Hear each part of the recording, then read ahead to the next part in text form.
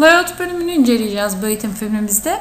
Şimdi altta bakın model kısmı var. iki boyutlu ortamın açık olduğu hal, hali. Ee, bir de layout 1, layout 2 diye teknik resim bölüm var. Şöyle geçiş yaptığımızda beyaz sayfadır. Çizdiğimiz parçaların görünüşlerini alırız buradan. Layout 2. İstersek bunları 3, 4, 5 diye ekleyebiliriz düzen sayfaları. Nereden? New'den. New'e gelip tıkladıktan sonra, pardon şundan tıklayacağız. New Layout diyoruz. İki tane opsiyonu var bakın.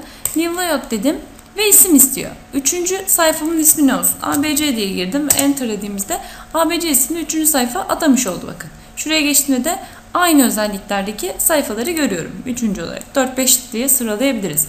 Veya aynı template'e uygun sayfa açarız. From template dedik.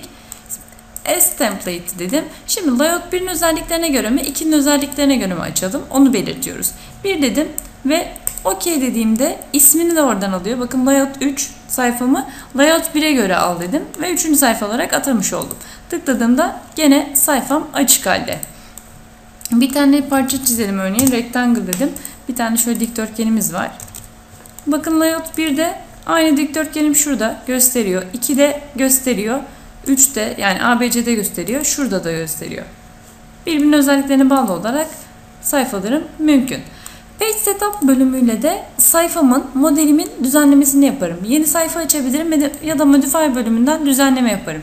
Bakın printer ayarları var, plot ayarları, sayfa ayarları, görünüş ayarları yani ekranda kapsam ayarları, tablo ayarları gibi birçok opsiyonum var. Bunları zaten plot bölümünde incelemiştik print, e, çıktı almak için e, bir videomuz vardı. Onu incelerseniz anlarsınız. Bunları düzenleyip onay verdiğimizde de şu e, plot yani modelimizin düzenlemesini, model sayfamızın düzenlemesini yapabiliriz. Şu an sayfamıza baktığımızda Pro ayarlarının olmadığını görüyorsunuz. Sayfamızın ölçülerini görüyoruz.